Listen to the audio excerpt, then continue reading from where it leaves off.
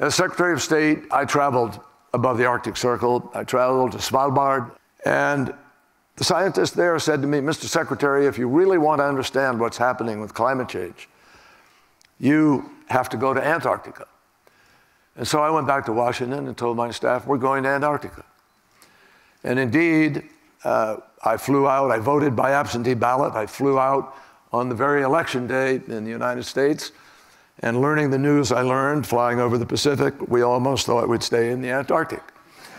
Um, but I decided, obviously, to come back for the fight. Um, but in the Antarctic, it was magical. I mean, I've never seen wilderness like that. There was something eerily grounding in this. And the firsthand impact of climate change that was being described to me by the, what, nearly 20 plus scientists from each of 20 plus countries that go there to do research chilled me in terms of, beyond the cold, in terms of uh, what we're facing.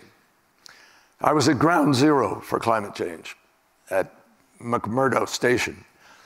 And as I listened to these scientists from all over the world and looked at chart after chart where they traced what has been happening, describing the latest deeply alarming evidence of what is going on, uh, I was genuinely scared.